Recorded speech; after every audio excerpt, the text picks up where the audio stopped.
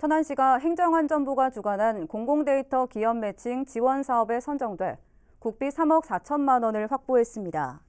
이 사업은 공공데이터 구축, 가공이 필요한 공공기관과 데이터 전문 기업을 매칭해 공공데이터를 개방하고 데이터 분야 청년 일자리를 창출하기 위한 사업입니다. 선정된 과제는 전통시장 활성화를 위한 실태 조사 및 전자지도 구축으로 천안 지역 5개 전통시장에 대한 실태 조사를 통해 점포 상세 정보 데이터와 위치 정보가 포함된 전자 지도를 구축할 예정입니다.